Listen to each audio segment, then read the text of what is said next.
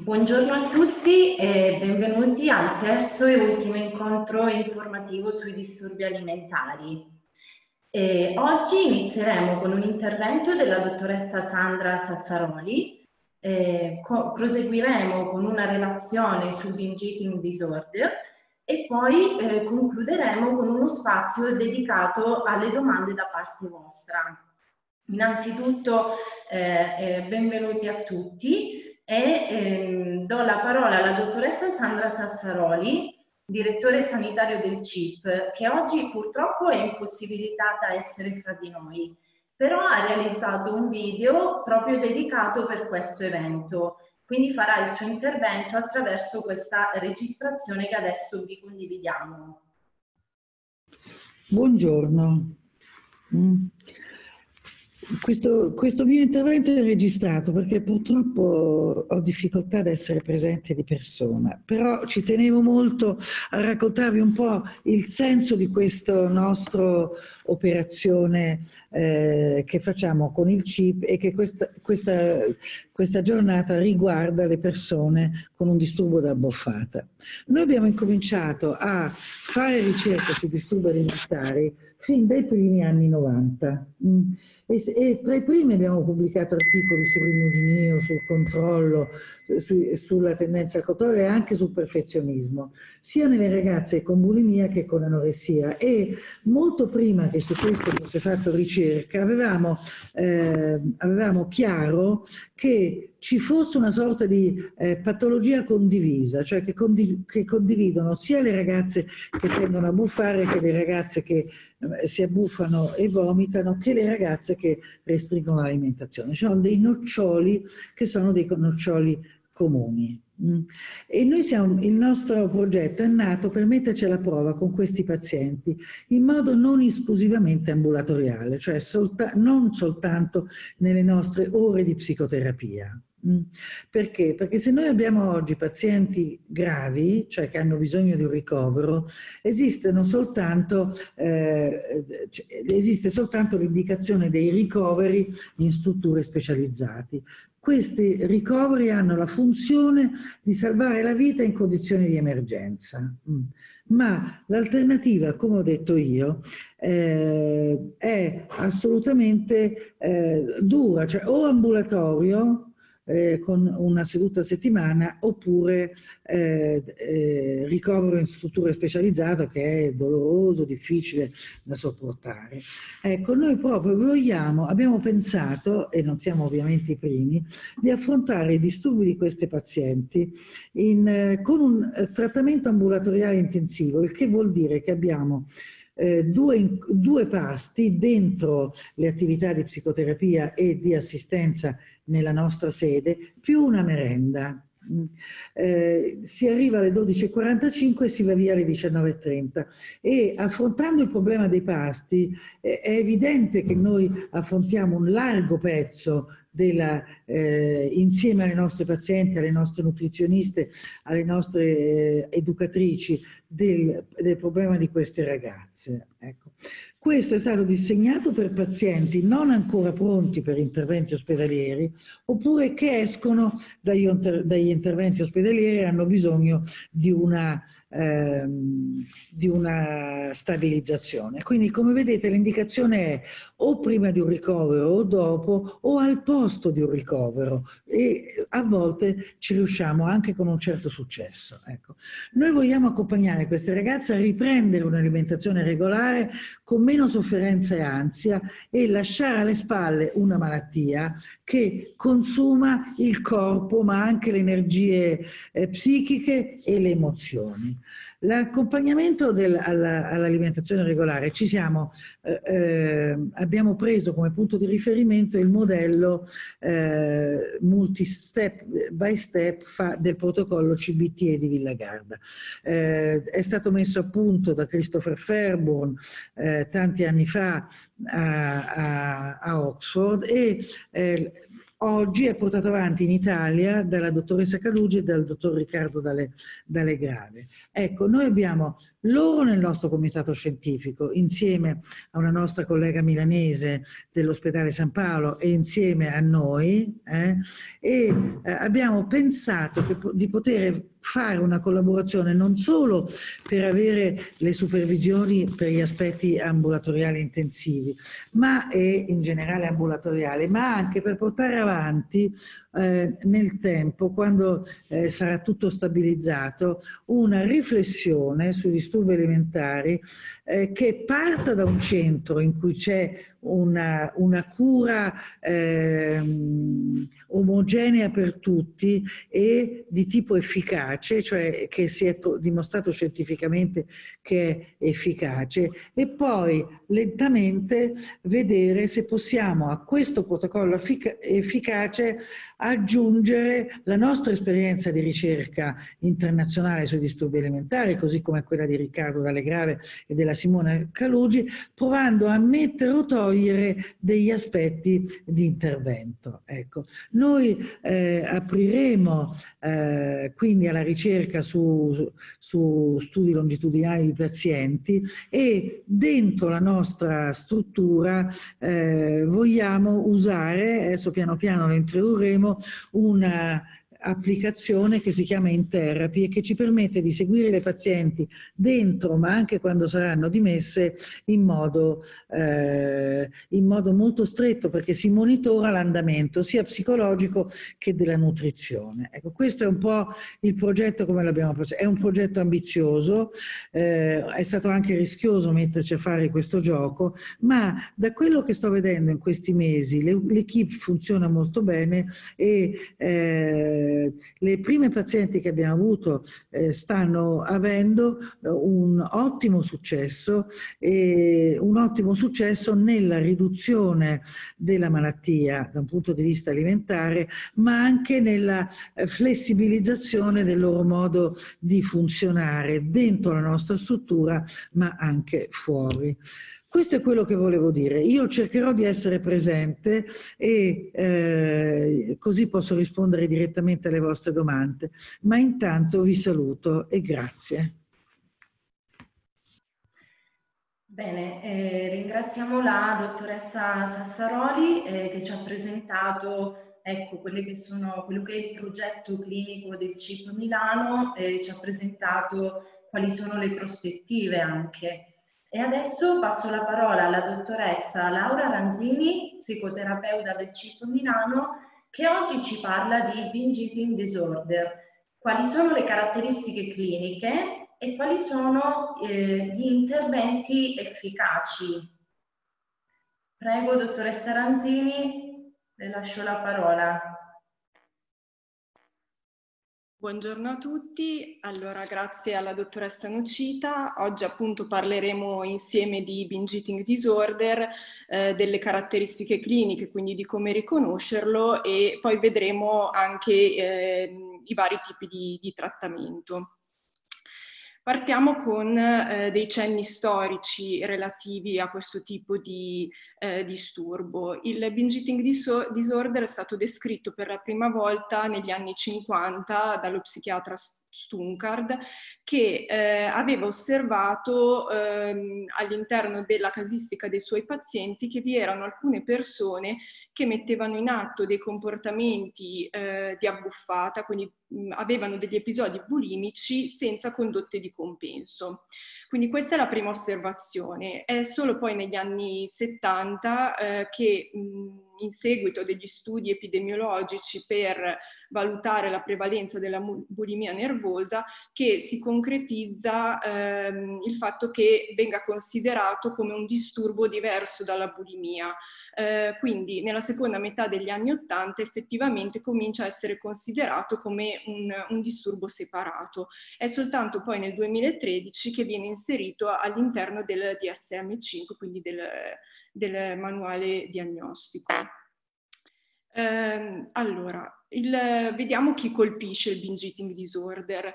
Eh, gli studi di epidemiologia ci dicono che la prevalenza è dell'1,6% per le femmine e dello 0,8% dei maschi, quindi in, diciamo che il, i tre quarti delle persone che soffrono di questo disturbo sono donne. C'è da dire però che rispetto alla bulimia eh, c'è una maggior prevalenza di maschi e anche una maggior prevalenza di eh, persone che ehm, mm, fanno parte di minoranze etniche.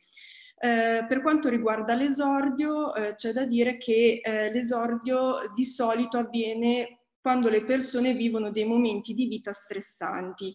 Quindi mh, c'è un momento di vita faticoso e viene utilizzato il cibo per la gestione emotiva di, questi, di questo momento. Eh, successivamente, dato l'utilizzo del cibo e dato che non vi sono condotte di compenso, ci può essere un aumento di peso e quindi è successivamente che la, la persona utilizza ehm, un approccio nutrizionale dietetico per la perdita del peso. Questo avviene eh, a differenza di quello che avviene nella bulimia nervosa dove appunto la dieta eh, di solito precede l'esordio del, del disturbo. Ora questo nella maggior parte dei casi, tuttavia ci sono anche situazioni in cui il binge eating eh, si, si, instaura dopo un, un periodo di, di dieta e di restrizione. Eh, per quanto riguarda l'età di esordio è più tardiva rispetto all'età di esordio della bulimia e dell'anoressia e quindi abbiamo pazienti con una fascia più ampia di, di età e la richiesta di aiuto avviene solitamente intorno ai 40 anni. Eh, spesso il binge eating coesiste con l'obesità eh, o con il sovrappeso, però è possibile riscontrarlo anche in persone normopeso. Eh, chi ha un disturbo d'alimentazione incontrollata comunque presenta il doppio delle possibilità del rischio di sviluppare eh, obesità o sovrappeso. Rispetto all'obesità dedicheremo una piccola parte verso la fine di questa presentazione perché è una comorbidità importante. Vediamo i criteri diagnostici del DSM V. Allora, eh, per avere una diagnosi di binge eating devono esserci ricorrenti episodi di abbuffata, eh, la persona speri- sperimenta un marcato disagio eh, conseguente alle abbuffate, le abbuffate devono verificarsi almeno una volta alla settimana per almeno tre mesi e non devono essere presenti eh, regolari condotte di compenso che sono invece presenti nella, nella bulimia nervosa. Uh, in questa tabella ho voluto un pochino riassumere le caratteristiche degli episodi di, di assunzione di cibo. Infatti, per definire una buffata tale ehm, si, ci sono due criteri. Uno è eh, il mangiare una quantità di cibo eh, maggiore rispetto a quelle che altre persone mangerebbero nello stesso tempo e in simili circostanze e secondo, il secondo fattore è la presenza di perdita di controllo. Tuttavia la perdita di controllo può non essere sempre presente, cioè talvolta può esserci più una modalità incontrollata di, di mangiare. Alcune persone che sperimentano episodi bulimici possono talvolta lasciare andare del tutto il controllo o possono addirittura program- programmare gli episodi bulimici. In questo caso si parla di abbuffata qualora la persona non riesca a fare a meno del, del comportamento eh, bulimico. Quindi ehm, si, si, parla di un episodio bulimico oggettivo qualora ci sia una quantità elevata di cibo e la perdita del controllo, però talvolta le persone non riferiscono di aver mangiato una quantità di cibo eh, così elevata, in questo caso si parla di episodio bulimico soggettivo. Se non c'è la perdita di controllo ma la quantità di cibo è elevata, si parla di episodio di alimentazione eccessiva. Sempre riguardo alle abbuffate vediamo altre caratteristiche. La persona eh, mangia fino a, sentirsi, fino a, sentirsi, sgradevolmente piena, non è necessario che ci sia la sensazione di fame prima dell'abbuffata, infatti ehm, spesso le abbuffate, lo vedremo poi, eh, sono secondarie degli stati emotivi. Le persone solitamente quando sono con, con altre persone, con familiari o amici, eh, non hanno il comportamento di abbuffata, ma ehm, mangiano normalmente. Successivamente, quando sono soli, possono andare incontro all'episodio bulimico e avviene appunto da soli proprio perché provano un forte imbarazzo, una forte vergogna per, per il loro comportamento. Eh, la, l'episodio di abbuffata è caratterizzato dal mangiare molto rapidamente, questo ci dà un po' l'idea della perdita del controllo e successivamente all'episodio di abbuffata si innescano delle emozioni di eh, tristezza molto intensa, di ansia, di, di depressione, di disgusto verso se stessi. Vediamo quali sono i fattori di rischio per lo sviluppo di, eh, del disturbo d'alimentazione incontrollata. Diciamo che eh, ci sono due classi di fattori di rischio. Da una parte quei eh, fattori di rischio in generale per lo sviluppo dei disturbi mentali, come potrebbero essere eh, presenza di, di, abusi nell'infanzia, oppure eh, negligenza genitoriale, oppure depressione nei genitori, scarsa valutazione di sé, problemi interpersonali emozionali, l'aver ehm, avuto in precedenza altri, altri disturbi mentali. Eh, vi sono poi eh, i fattori che invece aumentano il rischio di sviluppare l'obesità, quali per esempio obesità nell'infanzia, alimentazione incontrollata nell'infanzia, oppure l'aver subito eh, critiche o commenti sul proprio peso e sulla forma del corpo. Questo, questo, disturbo, come un po' tutti i disturbi alimentari, è un disturbo che ha delle conseguenze molto importanti dal punto di vista sia psicologico che fisico.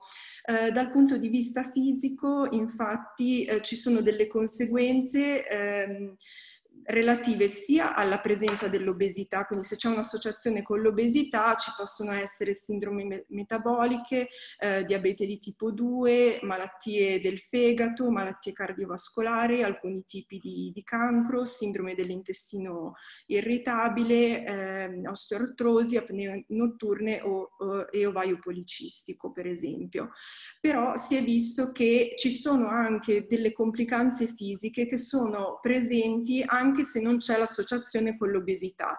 Infatti si è visto che persone che hanno esclusivamente binge eating disorder hanno comunque una maggiore eh, probabilità di sviluppare le componenti tipiche della, delle sindromi metaboliche come l'obesità addominale, la dislipidemia, l'ipertensione arteriosa e le alterazioni della glicemia e inoltre si è visto da, da diversi studi hanno dimostrato che eh, queste persone riportano più frequentemente insoddisfazione insoddisfazione per la propria salute, eh, difficoltà eh, al livello del sonno e eh, dolori cronici muscolari eh, al collo e alle spalle.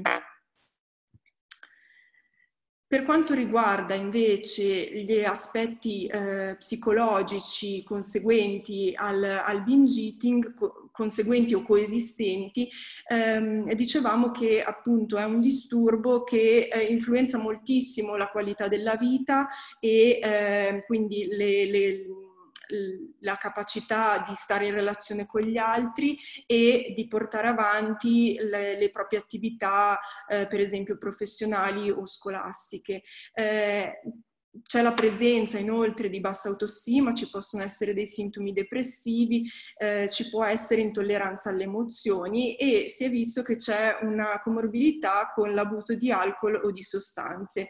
È proprio ehm, questa comor- comorbidità che ehm, ha fatto ipotizzare che ehm, ci fosse un, ehm, una dipendenza, che il binge eating fosse come una dipendenza, anche perché ci sono stati degli studi che hanno eh, dimostrato che c'è un aumento della dopamina dopo l'assunzione o di alcol o di cibo. Eh, quindi si è ipotizzato che ci fosse un sistema della, della ricompensa disregolato. Eh, tuttavia, eh, è da considerare effettivamente una dipendenza? Sembrerebbe di no, perché prima di tutto coloro che, che, si abbuffano hanno una spinta ad evitare l'episodio bulimico, non consumano particolari classi di alimenti, cioè non hanno un desiderio specifico su alcuni alimenti, ma durante le abbuffate possono essere ehm, compresi diverse categorie di, di alimenti. Eh, le persone con binge eating poi mettono in atto la dieta ferrea. Ehm, intermittente che aumenta la vulnerabilità agli episodi bulimici, al, al contrario dell'utilizzo di chi utilizza sostanze eh, che non è più vulnerabile quando cerca di non assumerle. Inoltre si è visto che la relazione eh, tra le abbuffate e l'uso di sostanze non è una relazione specifica, cioè c'è una correlazione che è simile alla correlazione con altri disturbi mentali ehm, e si è visto anche che se c'è l'interruzione delle abbuffate non necessariamente necessariamente eh, c'è la sostituzione con, con l'alcol. Inoltre eh, possiamo concludere che i dati sulla riduzione dei recettori dopaminergici sono inconsistenti e che comunque considerare il binge eating come una dipendenza non ha una reale utilità clinica nei termini del trattamento. Allora, eh, adesso vi, vi, parlo un pochino dell'organizzazione dell'assistenza eh, individuata dal Ministero della Salute per quello che sono i disturbi alimentari. Eh, ci sono, diciamo, cinque livelli. Il primo è quello del medico di medicina generale o del pediatra a seconda dell'età, che è una persona molto importante, che ha un ruolo molto importante perché eh, si trova ad avere a che fare con i primi sintomi, quindi è molto importante il suo ruolo nel riconoscerli e poterli inviare a eh, un trattamento specialistico.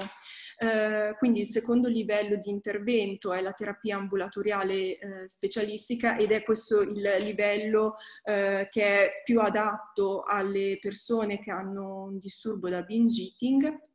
Poi c'è la terapia ambulatoriale intensiva o centro diurno, eh, che è seguito dal, ehm, dal ricovero mh, riabilitativo o eh, psichiatrico per finire con i ricoveri eh, d'emergenza. Eh, su questo lascio la parola alla dottoressa Nocita che eh, vi ehm, espone quelli che sono i programmi di cura al, al, al nostro centro, al CIP.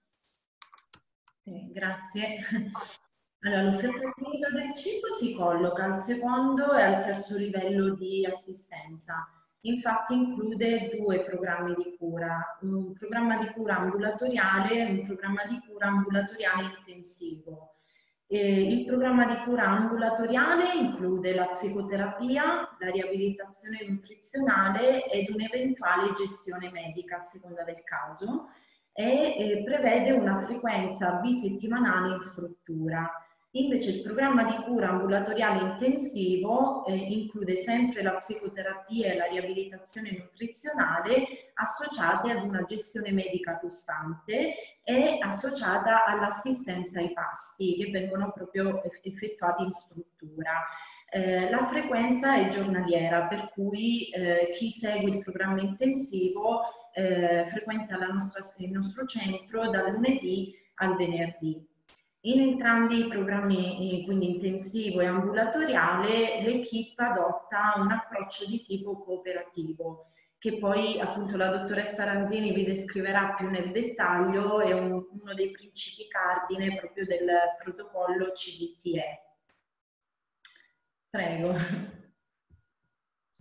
Ok, grazie mille. Allora, continuiamo appunto, ci eh, focalizziamo adesso di più eh, sul, sulla parte del trattamento. Eh, in particolare partiamo da quelle che sono le indicazioni delle linee guida NICE, che sono le linee guida che ehm, eh, sulla base della revisione della letteratura riportano gli interventi eh, maggiormente efficaci e che hanno un eh, buon rapporto, diciamo, costo-beneficio beneficio. Per il binge eating disorder eh, viene indicato l'autoaiuto eh, guidato, quindi eh, la, la, persona è invitata a seguire un manuale di, di autoaiuto di stampo cognitivo-comportamentale con l'aiuto eh, di un terapeuta, con il supporto di un terapeuta, quindi sono una, un 10-12 sedute della durata di 20-30 minuti eh, dove si, si, applica questo tipo di, di, di programma. Eh, qualora questo, eh, questo trattamento non fosse indicato o dopo quattro settimane non fosse focus efficace, l'indicazione è quello di eh, passare alla CBTE, eh, quindi alla CBT migliorata per i disturbi dell'alimentazione individuale o di gruppo. Eh, entrambi questi interventi hanno dei buoni livelli di efficacia, nel senso che l'autoaiuto guidato ehm, eh, porta circa al 46% di remissione del disturbo, la CBT è al 50%, più del 50%, con un follow up a 48 mesi. Eh, appunto, la, la, CBTE è la eh, terapia cognitivo-comportamentale migliorata per i disturbi dell'alimentazione che ha come focus quello di eh, aiutare le persone a riprendere la regolarità nell'alimentazione, riducendo così gli episodi episodi di abbuffata e lavorando su tutti quei meccanismi di mantenimento del, degli episodi bulimici. Eh, una cosa importante che viene sottolineata dalle linee guida NICE è quella di eh, spiegare ai pazienti con binge eating eh, che i trattamenti psicologici non, non sono finalizzati al, eh, alla perdita del peso, cioè eh, hanno un effetto limitato su questo, hanno invece l'effetto di portare a un controllo su, sull'alimentazione. Eh, naturalmente questo è un punto molto, molto dolente per, per, i pazienti che hanno un'associazione con il sovrappeso o con l'obesità. Eh, dopo lo vedremo meglio. Non è consigliato perché eh, il rischio di applicare dei programmi di perdita di peso se è presente un disturbo dell'alimentazione è quello di andare ad acuire la psicopatologia e quindi eh, porterebbe ad un aumento delle, delle abbuffate in alcuni, in alcuni casi che poi vedremo successivamente. Allora, prima di eh, entrare un po' più nel dettaglio della CBTE, eh, vi, vi, presento quella che è la prospettiva trasdiagnostica che è stata sviluppata dal centro, credo, dell'Università di Oxford, da Fairburn, Cooper e Shafran. Eh, la prospettiva trans, trasdiagnostica prevede, eh, parte dall'osservazione clinica eh, sui pazienti eh, e ehm, dall'osservazione che vi è una migrazione tra le varie categorie diagnostiche. Quindi le persone ehm, nel breve o nel lungo periodo potevano ricevere più diagnosi psichiatriche. In realtà ehm, non, non, è che una persona sviluppa più eh, patologie, ma è che vi è una, un, un, nucleo psicopatologico centrale che casi, nel caso appunto specifico è l'eccessiva valutazione del peso e della forma del corpo e eh, questo nucleo psicopatologico porta a, eh, alla manifestazione di diversi sintomi eh, e quindi in questo senso sembra esserci un passaggio da una categoria diagnostica all'altra, ma in realtà c'è lo stesso nucleo psicopatologico. Per quanto riguarda il binge eating disorder, eh, è frequente, mh, è possibile che eh, siano persone che in passato eh, avevano ehm, presenza di anoressia o di bulimia. È meno frequente che persone con binge eating migrino in queste categorie, è più frequente il, il contrario. Diciamo due, due, parole, due riflessioni eh, su quella che è la nostra esperienza clinica, ricollegandomi proprio a eh, questo aspetto della, eh, della, patologia transdiagnostica. Allora, durante questa fase di, di quarantena, di lockdown, abbiamo ricevuto eh, numerose richieste di, di, aiuto da persone che sembravano proprio aver eh, subito una, un cambiamento nella loro patologia, nel senso che ci sono arrivate richieste da persone che di solito mettevano in atto dei comportamenti di compenso eh, e che però in questa fase di chiusura non hanno più potuto, non sono più riusciti a utilizzare gli stessi compensi. Eh, penso a persone che facevano un certo tipo di esercizio fisico eh, secondo, come compenso appunto alle abbuffate oppure persone che utilizzavano il vomito che non l'hanno più utilizzato perché eh, stando maggiormente con, eh, con la propria famiglia eh, non si sono più sentiti liberi di poter utilizzare questo tipo di comportamento. Un'altra riflessione mh, relativa proprio a questo momento storico è come anche gli altri significativi che ehm, quindi sono le persone, i familiari oppure eh, i compagni o altre persone che si trovano, si sono trovati a vivere con persone che hanno disturbio dell'alimentazione, si siano molto trovati in difficoltà eh, e abbiano chiesto aiuto proprio su come poter aiutare i loro cari, i loro familiari. Quindi eh, su questo ripasso la parola alla dottoressa Nocita che vi presenta eh, sulla base di, questa, di queste esigenze quelli che sono gli interventi che eh, sono stati eh, proposti al, al CIP. Sì, eh, grazie. Eh, allora sì, proprio ehm, per rispondere a delle esigenze specifiche, peculiari di questo momento storico, no? abbiamo attivato due, due servizi all'interno del CIP. Uno rivolto specificamente ai, ai congiunti, e l'altro invece rivolto alle persone mh, con problematiche alimentari. Quindi quello che mh, vedete adesso nella slide è lo sportello eh, appunto di ascolto che è stato attivato eh, fin dalle primissime fasi di lockdown e che stiamo comunque tenendo attivo ancora adesso. È uno sportello che si rivolge a persone che hanno appunto delle problematiche alimentari e eh, offriamo sia un supporto di tipo psicologico sia un supporto di tipo nutrizionale. Eh, le modalità con cui ricevere questo tipo di supporto eh, sono di libera scelta della, della, persona, quindi noi offriamo sia la possibilità di usufruire di questo sportello in modalità telematica oppure in modalità telefonica ed è uno sportello di, gratuito, un servizio gratuito. A fianco a questo eh, abbiamo attivato invece un'iniziativa specificamente rivolta a chi eh, appunto affianca le persone con una problematica alimentare. No? Eh, sappiamo benissimo, tutti abbiamo vissuto questa esperienza di Ehm, di maggior tempo condiviso, di maggiori spazi condivisi in tutto questo periodo di lockdown. Questo eh, effettivamente ha comportato delle difficoltà per chi vive a fianco a chi soffre di disturbi alimentari. Per questo motivo abbiamo attivato un gruppo, eh, un gruppo proprio online eh, con una cadenza quindicinale ehm, rivolto a, ai familiari, quindi ai genitori, ma anche ai partner, anche agli amici, eventualmente anche agli insegnanti. Attualmente il gruppo che è partito circa un mese fa è ancora attivo, eh, ci si incontra appunto ogni, ogni due settimane con l'obiettivo, un obiettivo duplice in realtà, eh, quello intanto di offrire delle eh, strategie pratiche per la gestione de- della problematica strettamente alimentare, quindi eh, come gestire per esempio una buffata, come gestire il rifiuto del pasto, ma allo stesso tempo fornire un supporto psicologico eh, rispetto a quelle che sono le difficoltà relazionali che eh, sono, si sono accentuate in quest'ultimo periodo, negli ultimi mesi.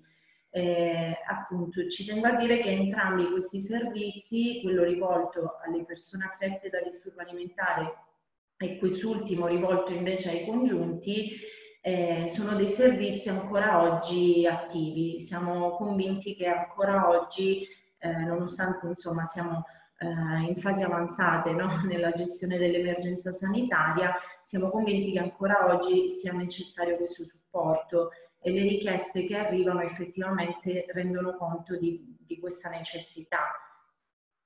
Bene, grazie. Ok, allora proseguiamo eh, entrando più nel vivo di quello che è il trattamento che viene proposto qui, qui al CIP, quindi la terapia eh, cognitivo-comportamentale migliorata per i disturbi dell'alimentazione.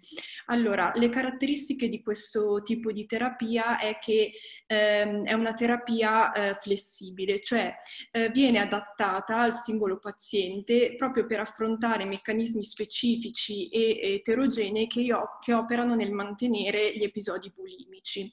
Ehm, e quindi appunto ehm, una terapia eh, che prende in considerazione le caratteristiche di ognuno, eh, è una terapia protocollata che però appunto viene cucita a seconda delle, delle esigenze e presenta dei moduli eh, specifici che si sono dimostrati essere molto, molto utili eh, nella gestione eh, di, di, pazienti che hanno il disturbo dell'alimentazione incontrollata, in particolare ehm, i moduli che affrontano i cambiamenti emotivi e i moduli che affrontano eh, i problemi interpersonali. Il modulo appunto relativo al, alle problematiche interpersonali è un modulo derivato dalla terapia, dalla psicoterapia interpersonale che insieme alla terapia cognitivo-comportamentale è un altro tipo di eh, terapia che si è dimostrata eh, utile per la gestione di, di questo tipo di problematiche.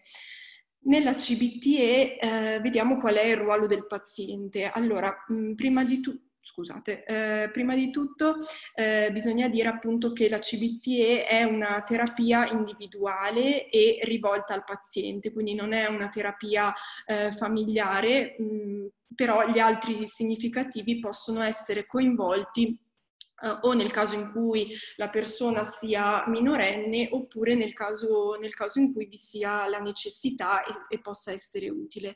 Uh, quindi è una terapia individuale in cui il paziente deve essere eh, ingaggiato e ehm, deve essere attivo all'interno della terapia e all'interno delle sedute, non solo all'interno delle sedute, ma anche tra una seduta e l'altra. Quindi è un paziente che si impegna attivamente nel lavoro terapeutico tra le sedute, che dà priorità al trattamento e eh, che si concentra proprio nell'applicare le strategie e le procedure che vengono concordate insieme nel percorso terapeutico. Eh, il punto di forza della, della CBTE è proprio il fatto di avere un approccio collaborativo con, con il paziente, si lavora tutti insieme come, come una squadra e non si impongono uh, delle, delle, regole o delle procedure se il paziente non, non è d'accordo, quindi è un approccio appunto collaborativo e mai coercitivo.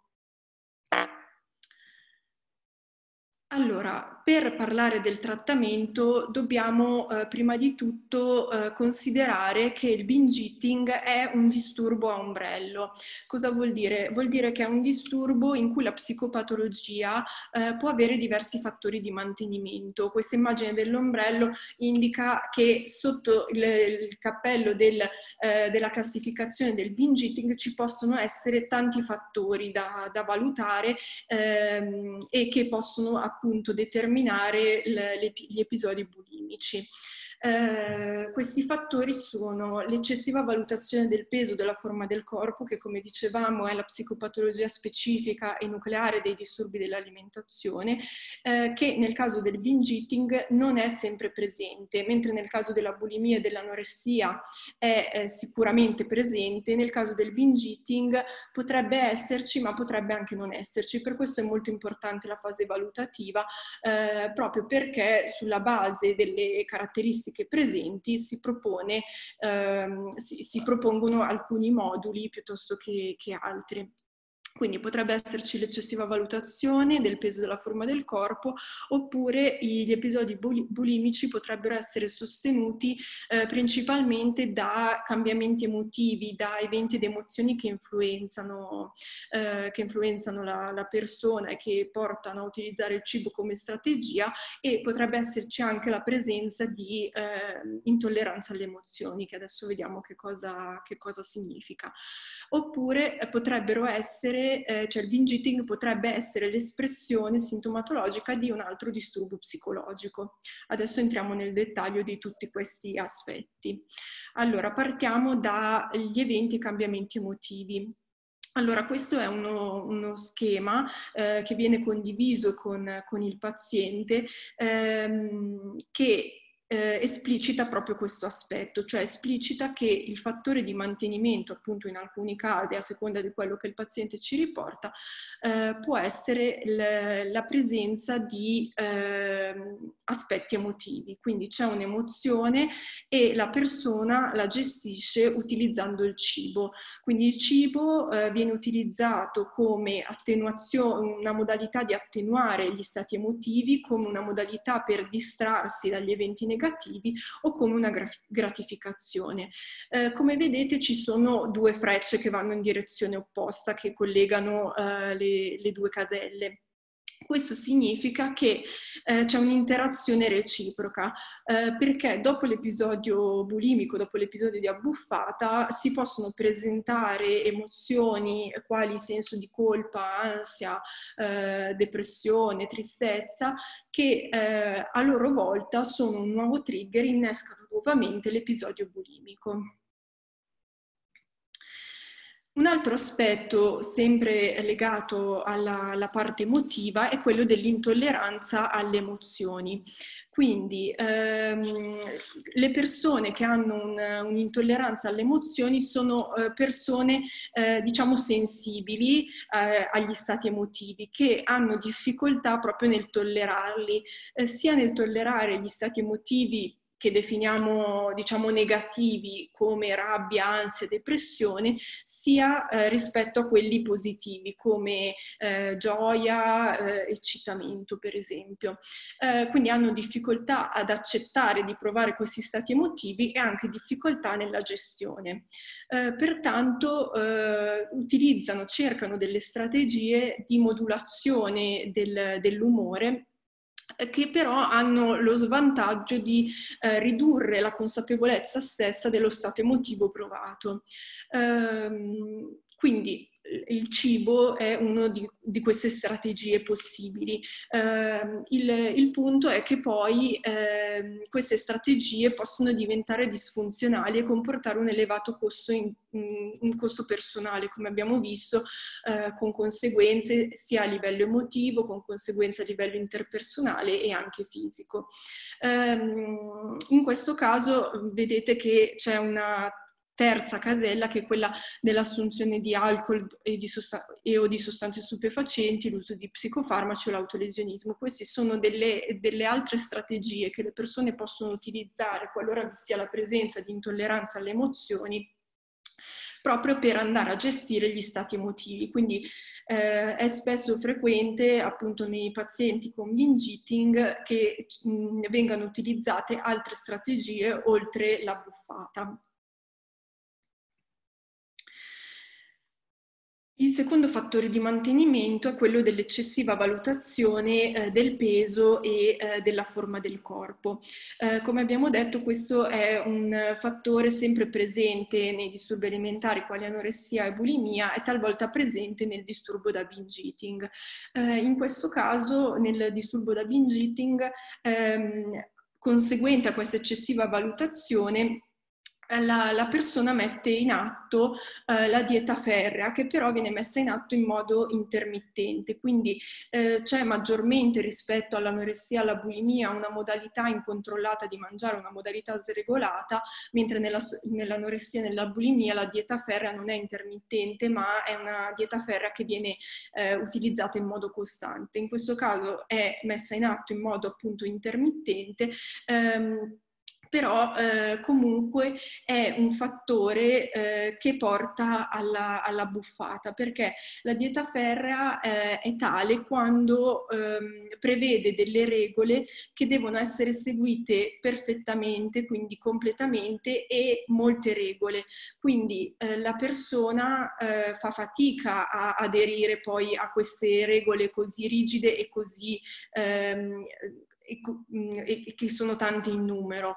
Questo perché basta soltanto una distrazione o basta soltanto rompere la regola parzialmente per, eh, tramite un meccanismo tutto nulla, avere, eh, accedere all'episodio di, di, abbuffata, che però la persona appunto vive come una perdita di controllo e eh, non, non, attribuisce, eh, non l'attribuisce al fatto che ha delle regole che sono eh, troppe e eh, molto rigide.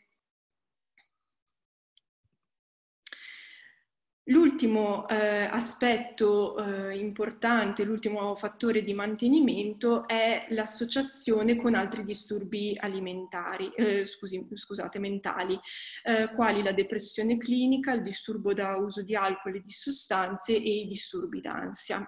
Eh, quando mh, c'è questa associazione c'è un'interazione negativa eh, tra mh, un, questi disturbi mentali e il disturbo da binge eating, cioè l'uno mantiene l'altro. Vediamo per esempio il caso della depressione. Eh, nella depressione può esserci per esempio un aumento dell'appetito che porta eh, all'aumento degli episodi bulimici e anche all'aumento di peso. Inoltre eh, i vissuti depressivi eh, possono ehm, portare la persona a pensare che non sia possibile cambiare e eh, quindi c'è una fatica proprio a ingaggiarsi nei, nei trattamenti. Inoltre ehm, con, con, con, la depressione si ha anche una scarsa concentrazione che rende difficile ritenere le informazioni che vengono eh, espresse nel percorso terapeutico. Per quanto riguarda invece per esempio l'abuso di sostanze, anche qui ci sono dei fattori di, di mantenimento, nel senso che eh, per esempio l'utilizzo dell'alcol eh, può portare a maggior disinibizione e eh, quindi favorisce l'episodio eh, bulimico. Eh, inoltre c'è un, un'interazione perché ehm, la necessità di di gratificazione, di modulare gli stati emotivi viene, viene eh, portata avanti tramite o il cibo, quindi la buffata, oppure attraverso l'alcol o le sostanze. Eh, per quanto riguarda i disturbi d'ansia, ehm, la, la, persona che sperimenta vissuti di, di, ansia intensa può utilizzare il cibo come eh, strategia per ridurre l'ansia.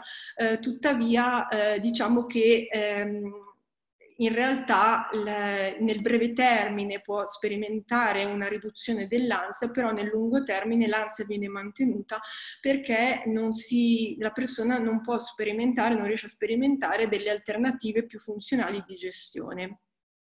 Quindi è molto importante, appunto, come, come dicevo prima, la fase di valutazione eh, e il poter considerare che cos'è esattamente che determina l'episodio bulimico eh, e quali sono i fattori di mantenimento, proprio perché eh, nel percorso terapeutico mh, bisogna andare ad affrontare eh, quei fattori che sono specifici per la persona. Allora, vediamo un pochino come, eh, come, si, come, come si, svolge la, la terapia cognitivo-comportamentale.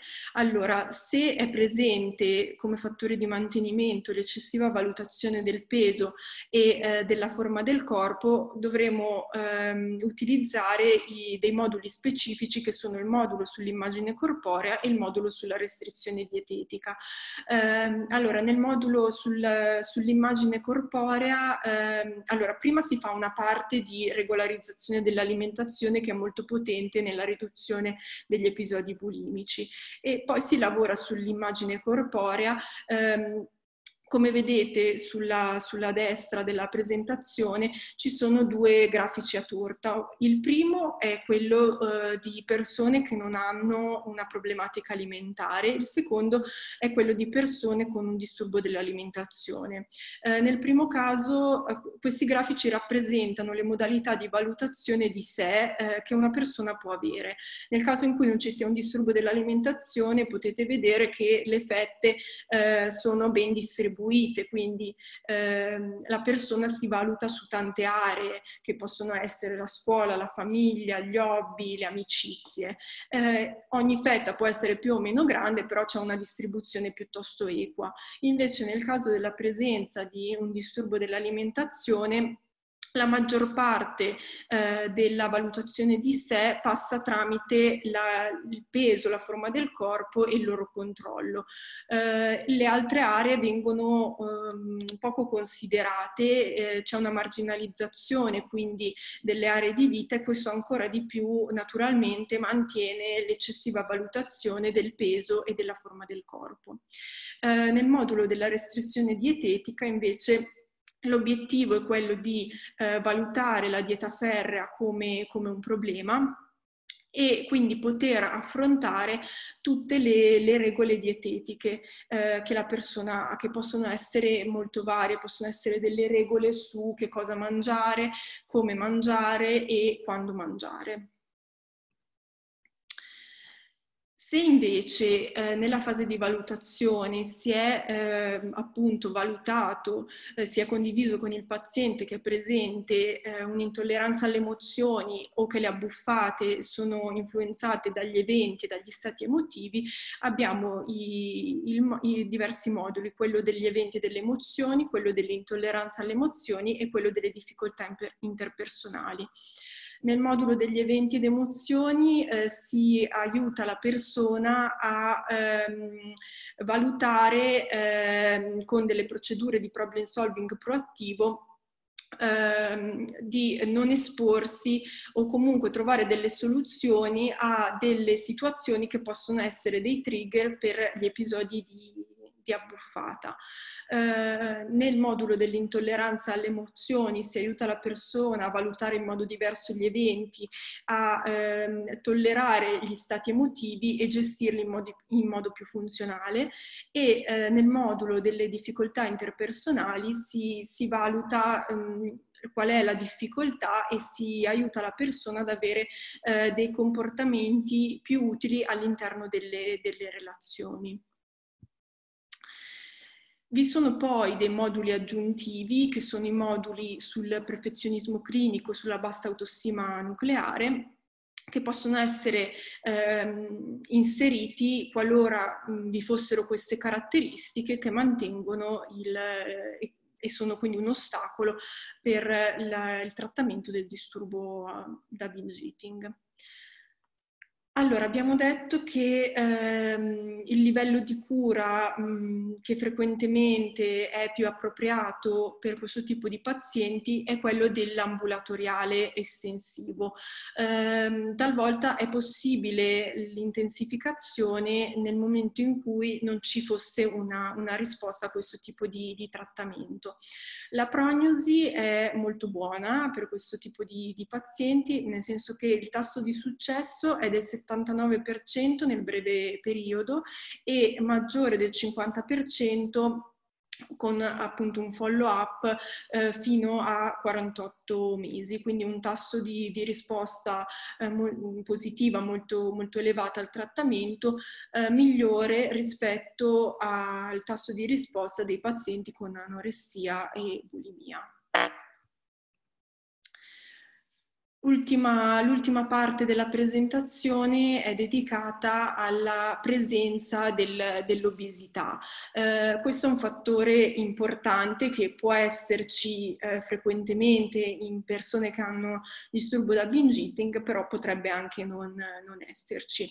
Eh, l'obesità può, essere, eh, può precedere la, la, comparsa del disturbo alimentare o essere la conseguenza degli episodi ricorrenti di abbuffata.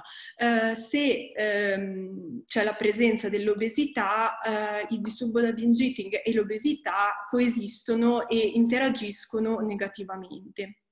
Questo perché gli episodi di abbuffata favoriscono il peso in eccesso. Il peso in eccesso sappiamo che aumenta le preoccupazioni per il peso e la forma del corpo e quindi incoraggia la dieta e gli altri comportamenti ehm, estremi di, di, controllo del peso eh, e eh, inoltre il, il, peso in eccesso si, si associa con un ridotto esercizio fisico e quindi anche con un aumento degli stati emotivi negativi che vengono gestiti gestiti attraverso la buffata. Um, inoltre, quindi come vedete da questa, da questa formulazione personalizzata, eh, quindi la buffata eh, porta a un aumento dell'obesità che a sua volta eh, influenza e mh, aumenta l'eccessiva valutazione del peso della forma del corpo. Eh, se, la, se, un paziente ha una formulazione di questo tipo dove eh, in alto c'è l'eccessiva valutazione del peso della forma del corpo, va proprio esplicitato come dicevamo prima e come indicato anche dalle linee guida NICE, che eh, il trattamento psicologico non eh, ha come obiettivo mirato quello la, della perdita del, del peso. Eh, la perdita di peso potrà essere un obiettivo rivalutato e preso in considerazione eh, solo in una fase successiva, cioè soltanto quando vi è una remissione stabile, un periodo stabile in cui non è più presente il eh, disturbo dell'alimentazione, in cui quindi non sono più presenti gli episodi di, di, di abbuffata. Ok, io ho finito con la mia presentazione, adesso lasciamo il posto alle vostre domande. Bene. Grazie Laura. E allora, eh, riprendo alcune domande che sono state scritte eh, durante la presentazione e poi eh, insomma iniziamo in ordine cronologico. Allora, c'è una persona che ci chiede, ehm, ci chiede questo, se oltre al binge eating vi sia attenzione anche all'identificazione di presenza di iperfagia Iperfagia intesa come fame insaziabile. Prego.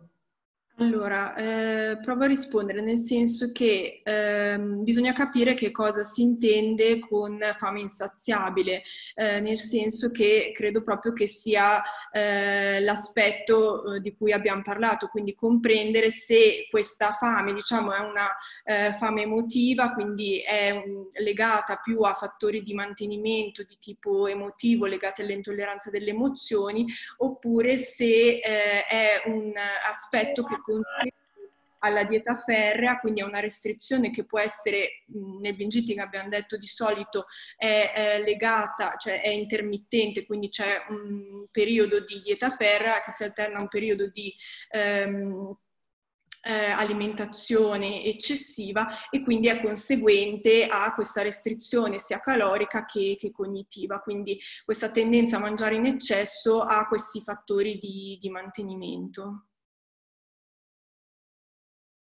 Ok, uh, andiamo avanti sulle domande, poi c'è un'altra persona che chiede questo. Uh, sulla prima fase del trattamento, mh, mm, chiede delle specifiche sulla prima fase del trattamento. Si aiuta il paziente a seguire un manuale di autoaiuto? E quindi chiede, questa persona chiede di spiegare un attimo questa parte. Sì, allora, ehm, allora, in realtà non è una prima fase di trattamento, ma sono due trattamenti diversi, eh, nel senso che eh, si può, secondo le linee guida NICE, L'indicazione è quella di proporre prima eh, l'autoaiuto guidato, quindi eh, c'è un manuale di, di, autoaiuto che il paziente utilizza ehm, e che eh, riporta tutti i passi per affrontare il, il disturbo eh, dell'alimentazione secondo un'ottica CBT, quindi cognitivo-comportamentale, e ehm, questo manuale ehm, viene eh, seguito anche con l'aiuto di un terapeuta. Quindi il, il paziente fa delle sedute, eh, si, si, prevedono appunto una decina di sedute mh, di, di, lunghezza inferiore a quelle che sono le sedute classiche di psicoterapia, quindi sedute di, della durata di una ventina di minuti, in cui il, il terapeuta aiuta il paziente, lo supporta eh, nell'applicazione di quello che viene indicato nel, nel manuale. Questo è un tipo di trattamento che qualora risultasse o eh, non efficace oppure non adeguato per un certo paziente, allora viene eh, diciamo sostituito, si passa all'applicazione della CBT. Um, quindi eh, non so se la domanda era sul primo passo della CBT o su questo aspetto, perché il primo passo della CBT invece eh, prevede eh, l'ingaggio del, del paziente, quindi eh, di spiegargli qual, qual, è la terapia, di spiegargli che il suo ruolo sarà molto attivo, di appunto motivarlo in questo senso e, ehm, e prevede tutta una parte di applicazione di procedure che hanno la finalità eh, di ridurre gli, episodi, gli episodi bulimici regolarizzando l'alimentazione. In questa prima fase eh, si appunto valutano le, i vantaggi e gli svantaggi del cambiamento e eh, soltanto nel momento in cui il paziente eh, giudicasse vantaggioso eh, superare la problematica alimentare si procede con, con, con il percorso terapeutico. Ok, poi c'è una domanda rispetto al gruppo online eh, di quattro incontri. Eh, sì, quello è un servizio a pagamento perché è proprio un intervento terapeutico. Eh, leggo la successiva, se è possibile avere le slide. Ehm, eh, sì, allora è possibile avere le slide. Come è successo per gli incontri precedenti, eh, le trovate in segreteria, quindi potrete, potrete appunto eh, venire a trovarci e appunto pre- prendere la vostra copia. Allora, un'altra persona ci chiede ehm, quale correlazione ci potrebbe essere con tratti compulsivi nel BED rispetto ad altri disturbi alimentari. Sì, allora, ehm, forse questa domanda si, si riferisce all'aspetto eh, che abbiamo un po' discusso della dipendenza in qualche modo, quindi della compulsione alimentare in questo senso e abbiamo visto come in realtà non, sia da considerarsi in questo senso, anche perché abbiamo detto che considerare eh, questi aspetti come una dipendenza, come aspetti compulsivi in questi termini non ha un'utilità clinica perché come avete visto il, il trattamento non prevede un, un trattamento in questo, in questo, senso, cioè il trattamento val, validato scientificamente. Ok, poi eh, c'è un'altra persona che eh, condivide questo. Letto articoli scientifici mettono in relazione il disturbo borderline di personalità e quello del comportamento alimentare, proprio per l'impulsività, che si esplica anche nella, nelle sostanze d'abuso. Può esserci una correlazione tra l'assunzione di cibo e una strategia per migliorare l'umore negativo? Sì, sì, assolutamente. Eh, proprio nei, nei termini del il cibo viene utilizzato come una modalità eh, per migliorare l'umore negativo, per attenuare certi stati emotivi che eh, diventano intollerabili, che sono vissuti come intollerabili e quindi in questo senso eh, se c'è una persistenza di, di, questo dopo la prima fase in cui si è, si è affrontata la regolarizzazione dell'alimentazione, si può utilizzare il modulo delle intolleranze delle emozioni proprio per lavorare su, su questo aspetto.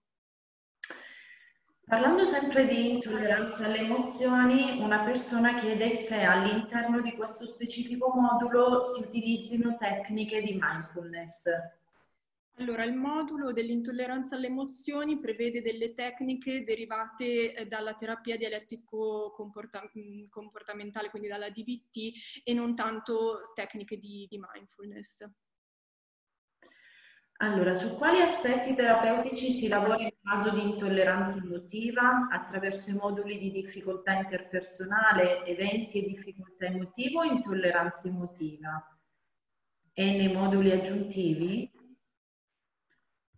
Um, non so se è chiara la domanda. Allora, provo, provo a rispondere. Eh, allora, mh, mm, chiede su quali aspetti terapeutici si lavora in caso di intolleranza emotiva eh, allora, forse non sono stata chiara, nel senso che se c'è intolleranza emotiva non si lavora con il, il modulo delle difficoltà interpersonali, eh, ma proprio con il modulo specifico dell'intolleranza alle emozioni. Quindi sono tre moduli separati, c'è il modulo dell'intolleranza alle emozioni, il modulo degli eventi ed emozioni e il modulo delle difficoltà interpersonali. Sono proprio tre moduli separati che vengono utilizzati qualora si valuti che ci sia quella specifica difficoltà. Quindi eh, non sono tre moduli per lavorare tutti sul, sull'intolleranza emotiva, ma sono separati. Ok.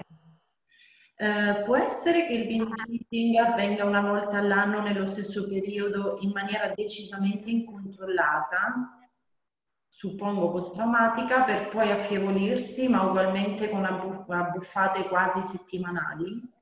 Allora, ehm, per avere, come dicevamo, una, una, diagnosi secondo DSM ci vuole una certa frequenza, però sicuramente ehm, questa, questa, domanda riflette quella che è una realtà clinica, cioè il fatto che eh, il binge eating possa avere nel tempo eh, dei periodi mh, che sembrano quasi di remissione, comunque dei periodi in cui le, la problematica migliora, eh, quasi con assenza di ehm, episodi bulimici, a periodi invece in cui il, la problematica si fa più presente, eh, magari proprio in momenti di vita, mh, qui c'è scritto post-traumatica, possiamo dire momenti di vita stressante, per esempio. Ok, la mindful eating può essere un intervento valido per il binge eating nel trattamento in studio privato?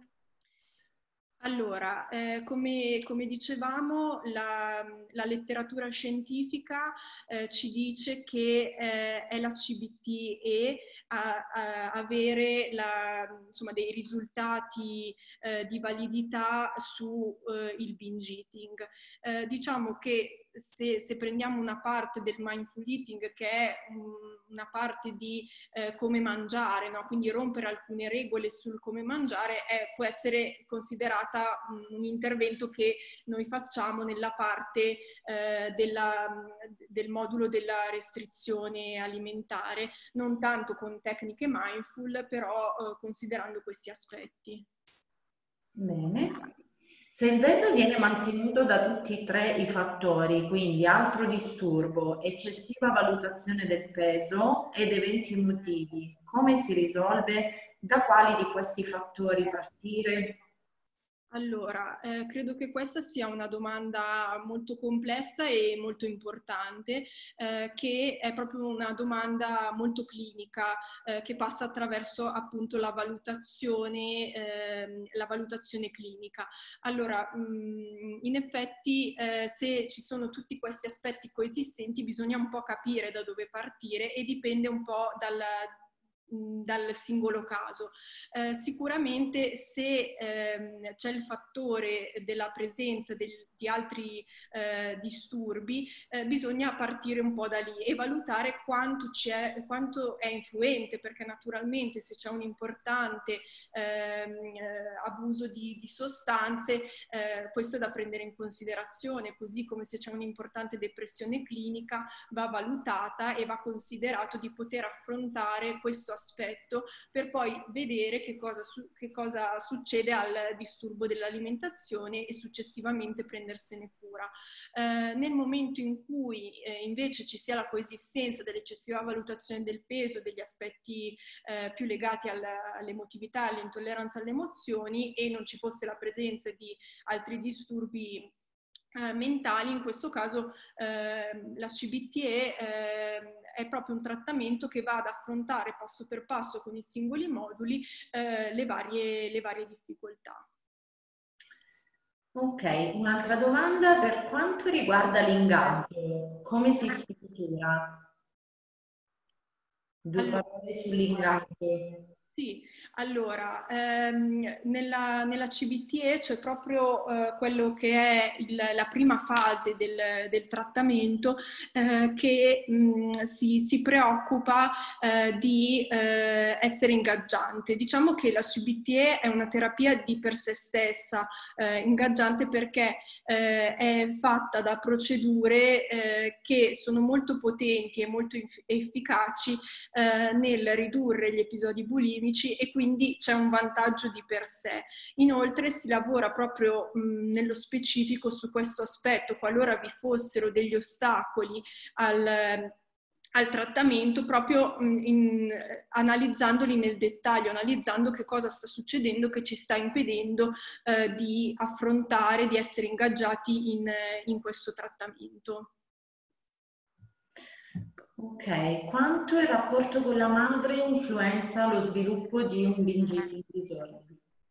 Allora, ehm, sappiamo che i disturbi dell'alimentazione hanno un'eziologia multifattoriale e eh, che ehm, non c'è un singolo eh, elemento determinante nello sviluppo del, del disturbo. Anzi, eh, diciamo che eh, queste, queste, teorie su, sull'attaccamento, sul, sulla responsabilità genitoriale eh, determinano molti sensi di colpa che non sono utili all'interno del trattamento proprio perché non permettono ehm, di mettere in campo tutte le risorse che invece sono essenziali, sono molto importanti anche da parte de, delle persone significative eh, per aiutare eh, chi, chi, ha la problematica alimentare. Eh, quindi non sono utili e non hanno delle evidenze scientifiche, per cui conviene, conviene lasciarle andare e concentrarsi su quello che si può fare. Sì, spesso fanno parte dei trattamenti più consistenti, ma allo stesso tempo più osservanti per poter eh, effettivamente fornire un aiuto efficace, no? Assolutamente. Uno dei più frequenti. Eh, qualcuno ci chiede, ehm, sono interessata alle evidenze sulla non consistenza dell'ipotesi di dipendenza da cibo, quindi perché parliamo di binge eating e non di dipendenza da cibo? Se puoi dire qualcosa in più o consigliare qualche studio o anche qualche magari riferimento bibliografico? Sì, allora magari eh, possiamo inviare per mail i riferimenti bibliografici specifici dei, degli articoli eh, che, che, che appunto affrontano questi, questi aspetti. Eh, riprendo un po' quello che, che, ho detto durante la presentazione, quindi eh, il non considerare ehm, il binge eating come una dipendenza eh, dipende da diversi fattori. Eh, intanto appunto che ehm, coloro che hanno un episodio bulimico hanno comunque la spinta a evitare eh, questo, cosa che invece non sempre succede nell'uso delle sostanze. Eh, non c'è un, un craving, un, un, desiderio specifico su certi alimenti perché sappiamo che eh, le abbuffate si possono partire da alimenti vietati se siamo nell'ottica della buffata conseguente alla dieta ferrea, però non c'è il desiderio specifico rispetto ad un alimento e quindi in questo è diverso dalla ricerca della sostanza stupefacente o dell'alcol che è molto specifica. Eh, inoltre appunto c'è questo aspetto del mettere in atto la dieta ferrea che è un fattore di vulnerabilità, invece abbiamo visto, dicevamo che eh, chi usa le sostanze non ha una maggiore vulnerabilità nel momento in cui fa un tentativo di non, di non assunzione. Eh, inoltre, eh, insomma, questa ipotesi del, ehm, del, disturbo da binge eating come una dipendenza è nata proprio dal fatto che eh, si è visto che c'era una comorbidità con il disturbo da uso di sostanze o di alcol, eh, tuttavia questa relazione si è vista non essere specifica e eh, esserci una correlazione, naturalmente sì, però simile a quella che c'è con altri disturbi eh, mentali. Eh, inoltre, come dicevamo, non c'è un'utilità clinica eh, in termini di trattamento nel, considerare, eh, nel considerarlo come, come, una dipendenza. Ok, c'è una nutrizionista che eh, ci dice mi capita spesso di accogliere pazienti con questo tipo di disturbo che non vogliono però affiancare un supporto psicologico Oltre a fare un'educazione alimentare, non dieta restrittiva, come posso aiutarli? Quindi immagino sia come posso aiutarli a considerare anche l'aspetto psicologico del problema alimentare. Sì, allora eh, in effetti quello che, che succede è, come dicevamo, no? l'esordio è conseguente più a eventi di vita stressanti, eh, per cui poi c'è l'aumento di peso, poi viene messa in atto la dieta per eh, perdere, perdere, il peso e eh, in questo caso i pazienti spesso si rivolgono a un... Un percorso di tipo nutrizionale e non un percorso di tipo psicologico. Eh, forse l'aiuto che può essere dato loro è proprio fornire un razionale eh, di questo, spiegando che il, il, trattamento per questo tipo di, di difficoltà è un trattamento ehm, psicologico, quindi dando loro le informazioni corrette e magari se proprio c'è una resistenza eh, una difficoltà nel, nel, poter intraprendere un percorso psicologico, aiutandoli un pochino a vedere che questi episodi di, di perdita di controllo sul cibo possono avere una, una, correlazione con stati emotivi. Questo potrebbe essere, essere utile e aumentare la comprensione della necessità di un percorso più specifico. Sì, e mi sento di aggiungere anche che potrebbe essere utile fare riflettere queste persone eh, sull'utilità di adottare l'approccio che hanno sempre adottato fino a questo momento. Quindi eh, proprio chiedere di pensare quanto utile è stato fino adesso occuparsi solo eventualmente della parte alimentare, che tipo di risultati hanno riscontrato utilizzando esclusivamente questa strategia e, e quindi forse questo può aprire eh, no, un po' lo spazio verso altri, altre prospettive. Questo per esperienza clinica di solito funziona. Poi nella CBTE la famiglia non viene mai coinvolta?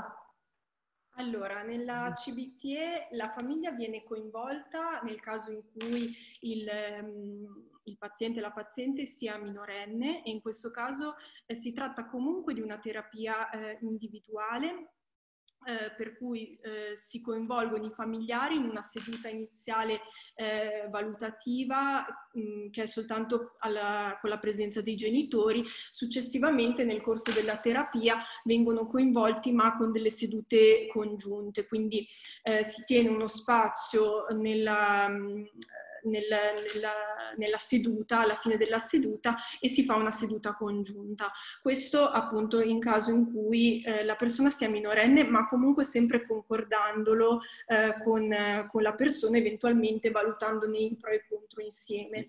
Eh, nel caso in cui la persona sia, sia maggiorenne, ehm, non si fa di default come eh, con chi è minorenne, però si valuta eh, insieme al, al, paziente la possibilità di coinvolgere comunque i, i familiari eh, proprio perché talvolta possono essere eh, o un ostacolo e quindi si affronta questo aspetto oppure possono essere un'importantissima risorsa e quindi si chiede un po' aiuto. Bene. Ho conosciuto persone che nei momenti di dieta ferrea hanno sostituito il disturbo con alcol e sostanze. In questo caso si parla di dipendenza vi sono dei trattamenti più specifici per uno o per l'altro problema? Allora, eh, forse potrebbe essere una situazione in cui c'è quel, un, quel, fattore di mantenimento che è la presenza di un altro disturbo. In questo caso si può valutare appunto di eh, proporre un trattamento specifico sul, oltre che la CBT e sul, eh, sull'uso delle sostanze. Oppure potrebbe esserci un'intolleranza alle emozioni che abbiamo visto eh, possono essere gestite sia attraverso il cibo oppure anche attraverso eh, l'uso dell'alcol e, e, delle sostanze. Quindi i due comportamenti possono essere utilizzati in questo senso, sempre come ehm, attenuazione di uno stato emotivo. Ancora un altro, c'è correlazione fra il binge eating e una storia familiare in cui il paziente è cresciuto in un ambiente eccessivamente perfezionistico, controllo dell'abbigliamento, dei voti scolastici, per cui la perdita di controllo sarebbe un'attività diversiva? Allora, come, come, dicevamo, non c'è un'unica, un'unica, causa, un unico fattore che determina la presenza della problematica alimentare. Eh, ci possono essere molti fattori, a partire da quelli genetici e anche da esperienze di vita che si sono vissute, quindi un contesto perfezionistico potrebbe in qualche modo su una persona predisposta aver influenzato. Eh, in questo caso, se eh, quel contesto ancora, è ancora ancora presente, eh, si può utilizzare nel caso appunto del perfezionismo il modulo su, sul perfezionismo eh, e andare anche a coinvolgere per esempio i genitori eh, esplicitando che il perfezionismo può mantenere il, la problematica alimentare e quindi cercando insieme di lavorare per ridurre e limare questo perfezionismo clinico che è un perfezionismo estremo. Ok, il manuale di autoaiuto è noto oppure ha un uso specifico della struttura? Eh, il manuale di, di, autoaiuto sulla CBTE eh, si può acquistare tranquillamente eh, e è proprio un manuale che si trova, anche questo, di questo possiamo mandare eventualmente eh, l'indicazione, però insomma è proprio un manuale di autoaiuto specifico sul, eh, sulla CBTE che è nelle edizioni italiane a cura di, di Riccardo Dallegrave. Sì, un linguaggio allora, molto semplice e accessibile per quanto tratti dei temi tecnici, quindi sicuramente è, è fruibile, sicuro è, fruibile. Eh, c'è una correlazione tra binge eating e amenorrea? Allora, eh, sicuramente le, le, problematiche alimentari possono avere eh, dei risvolti anche da un punto di vista eh, ginecologico e eh, quindi da un punto di vista fisico-organico. Per questo è sempre importante che all'interno del, dell'equipe ci sia un, un, medico che possa prescrivere eh, tutti gli esami e eh, che possa valutare anche tutti, tutti gli aspetti medici. Eh, diciamo che la menorrea è molto frequente, molto riscontrata nel, nei casi di anoressia nervosa proprio perché eh, diciamo, il corpo va al risparmio energetico e quindi anche la, la funzione riproduttiva eh, viene messa in, in stand-by. Eh, naturalmente appunto c'è un medico che, che si occupa proprio della valutazione di tutti questi aspetti. Ok, qualcuno chiede eh, dei riferimenti bibliografici per professionisti sul eh, protocollo CDTE, quindi ricordiamo che ci sono i testi eh, che hanno come autore eh, Riccardo Dallegrave ehm, sia sulla CDTE, quindi più in generale, che quella rivolta agli adolescenti e poi eh, invieremo comunque delle, dei riferimenti scritti così che abbiate proprio eh, il titolo completo, non solo l'autore ma anche l'editore. Ehm, vediamo un po'. Eh, quanti e quali sono i moduli della CDTE? Allora, i moduli della CBTE eh, sono, eh, allora c'è una prima parte appunto dove si, si affronta l'alimentazione regolare, poi c'è il modulo dell'immagine corporea, il, il, modulo che affronta la restrizione cognitiva e, e calorica, il modulo sul perfezionismo, poi quelli sono i moduli esterni. Allora faccio prima quelli standard, eh, il modulo sugli eventi ed emozioni eh, e il, il, modulo sull'intolleranza alle emozioni. Poi c'è il modulo sul perfezionismo clinico, ehm, il modulo sulle difficoltà interpersonali e il modulo sulla bassa autostima nucleare. Ho utilizzato la CBT con i gruppi ed ho riscontrato che alcuni pazienti non riescono a beneficiarne. Ci sono dei criteri di inclusione per fare il reclutamento di pazienti in gruppi CBT? Oppure come poter gestire situazioni differenziate all'interno del contesto di gruppo? Sì. Uh, io credo che uh, possa essere molto importante l'aspetto di valutazione del, dell'ingaggio, uh, quindi se valutare se ci sono degli ostacoli, degli svantaggi nel diciamo, affrontare la problematica alimentare, perché se ci sono questi ostacoli che, che bloccano sono sicuramente da prendere in considerazione e forse nel caso in cui ci fossero... Mh, degli aspetti eh, significativi, valutare una terapia individuale proprio per affrontarli in modo, in modo specifico e individualizzato. Nel caso di disturbo in un adolescente, cosa possono fare i genitori? Sì, Eh, allora, eh, i genitori, come dicevamo, sono sicuramente una, una, risorsa e a seconda delle varie fasi del, del, del percorso eh, si concorda con i genitori ehm, che cosa possono fare per aiutare la, la persona che, che, ha il disturbo. Però questo è altamente specifico, non ci sono mh, dei criteri, delle, delle indicazioni eh, che vanno bene per tutti, proprio perché si concorda con, eh, con la persona. Per esempio, ehm, ci può essere eh, una difficoltà eh, sulle, sugli stati emotivi eh, che magari eh, derivano da eh, episodi di conflittualità e in quel caso si può ragionare insieme su come ridurre la conflittualità, migliorare la comunicazione. Nel caso in cui la disregolazione avvenga più sulle regole dietetiche si chiederà alla famiglia di aiutare la persona a ehm, eh, mettere in atto l'alimentazione regolare, quindi dipende un po' da, da, qual è la difficoltà rilevata e da che cosa il, il paziente ci sta chiedendo. Ok.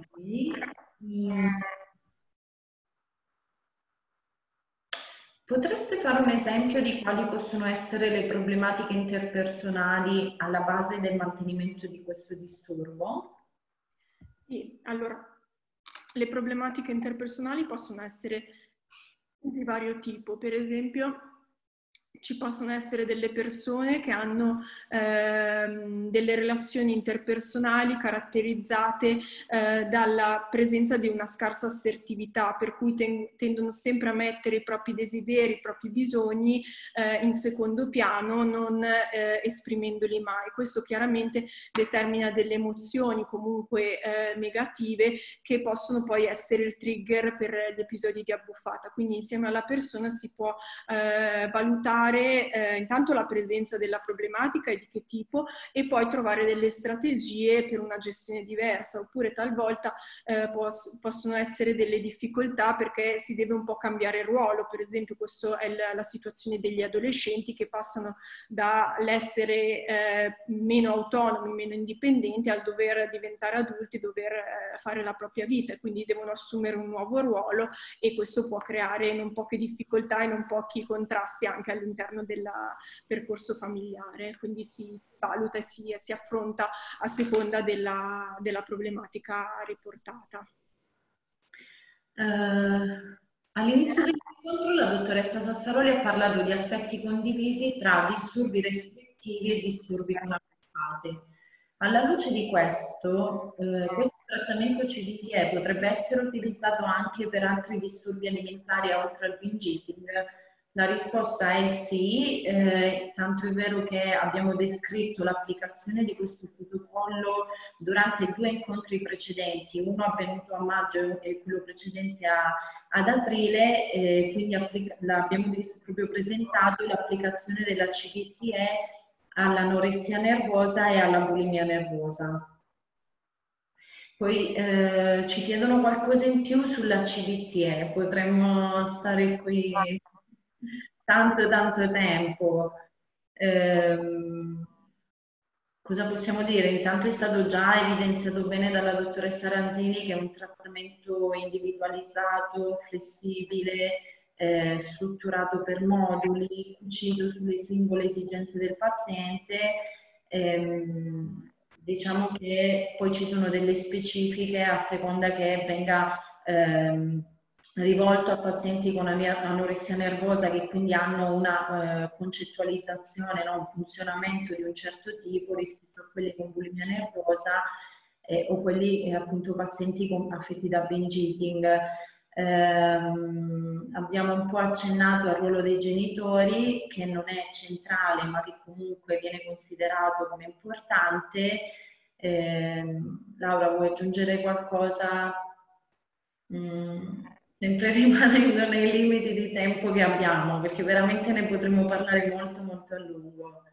Sì, appunto, sicuramente si tratta di un, di un trattamento con, con, evidenze scientifiche eh, che va ad affrontare quei meccanismi eh, specifici e eh, che eh, mantengono le, le, problematiche e eh, non affronta altri aspetti che possono essere presenti ma possono non essere così, così influenti. Quindi utilizza un po' un, un, principio della parsimonia, quindi fare poche cose ma fatte bene, diciamo, quindi eh, affrontare quello che effettivamente effettivamente mantiene la problematica alimentare. È un tipo di terapia che ha un inizio e che ha una fine ben definita per i pazienti non sottopeso è della durata di 20 settimane, quindi questo si esplicita al paziente ed ha anche una spinta importante al cambiamento.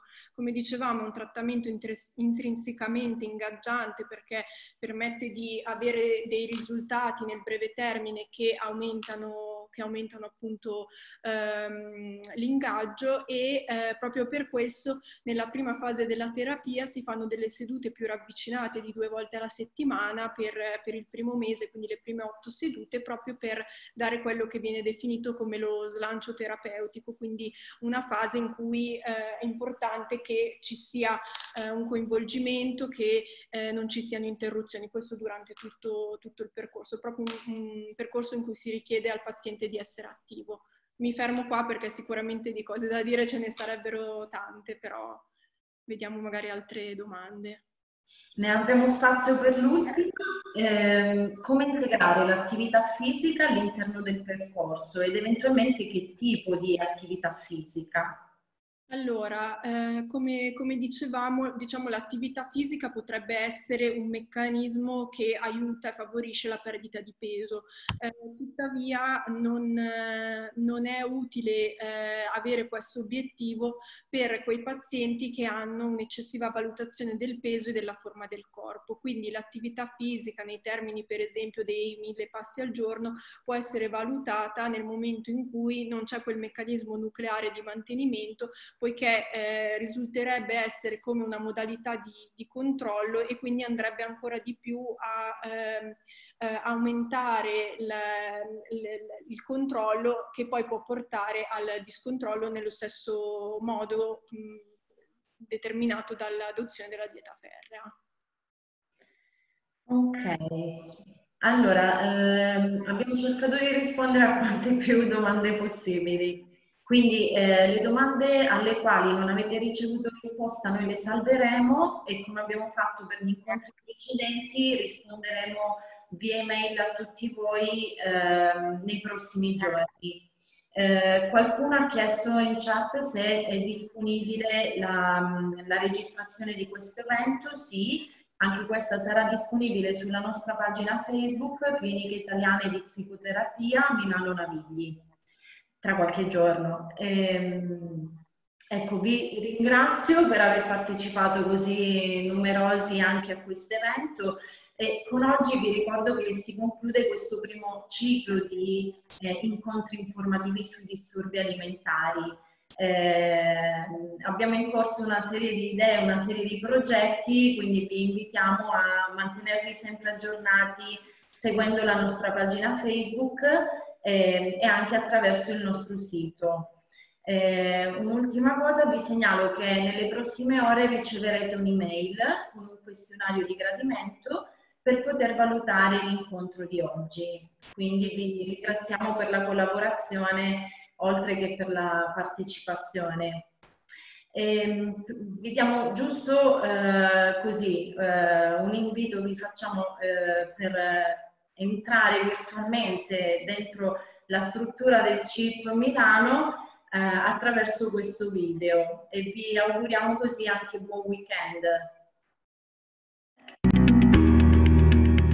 Il CIP Milano è nato per metterci alla prova con pazienti con disturbo alimentare che o sono usciti dall'ospedale e quindi bisogna stabilizzarli, oppure non ancora pronti agli interventi ospedalieri, oppure in attesa o in una lista di attesa per interventi ospedalieri. Noi abbiamo nel nostro comitato scientifico l'equipe di Villa Garda che, con il dottor Vallegravi e la dottoressa Carugi e rappresentano il gruppo italiano che sta facendo la ricerca più avanzata al mondo su questo tipo di disturbi. Nello specifico gli obiettivi che ci poniamo sono perseguiti attraverso dei percorsi individualizzati e flessibili che includono due programmi di cura, un programma ambulatoriale intensivo e un programma ambulatoriale. Si tratta di programmi che vengono realizzati grazie al lavoro sinergico di un'equipe non eclettica formata da psichiatra, psicoterapeuti, psicologi e dietisti. L'accesso al chip avviene o su invio del paziente stesso o su invio di un familiare o su invio di un professionista esterno che decide di avvalersi della nostra collaborazione. Il primo contatto è in una visita psichiatrica, è eseguita una valutazione psicodiagnostica e una restituzione questo primo pezzo iniziale del percorso che viene fatta sempre con. Il trattamento psicoterapico prevede l'applicazione della CBT, una terapia individualizzata, ovvero cucita sulle esigenze di ogni singolo paziente, e flessibile, ovvero che prevede l'applicazione di strategie e procedure terapeutiche in maniera sequenziale per affrontare le caratteristiche peculiari della psicopatologia. La CBT utilizza un approccio con il paziente di tipo collaborativo e non coercitivo è una terapia molto strutturata e limitata nel tempo che può essere somministrata a pazienti sia adulti che adolescenti. In applicazione alla CBTE il trattamento nutrizionale prevede incontri a cadenza settimanale con il dietista. Lo scopo delle visite è quello di concordare in collaborazione con il paziente i passi della settimana. Non si adottano infatti misure prescrittive, ma si lavora sulla cooperazione e sulla condivisione di obiettivi comuni.